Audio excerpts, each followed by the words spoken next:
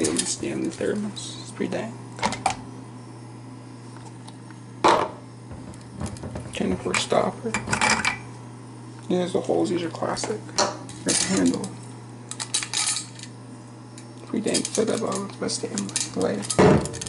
Good thermos made in the U.S. Good thermos. And you got the cup.